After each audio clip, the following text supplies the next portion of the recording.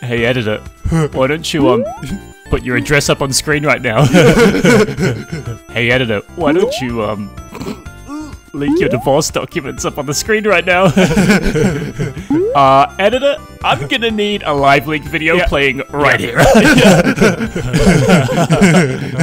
guys, guys, guys, What? I quit. No, come on. I'm not doing it No, come on, anymore. You're about telling me to do too much stuff. You're asking me to put my personal information up on the screen. were joking. To millions of people? We were joking. No. It's a joke. We're through. I ah. quit. You can Yeah. take my two weeks and shove it up your ass.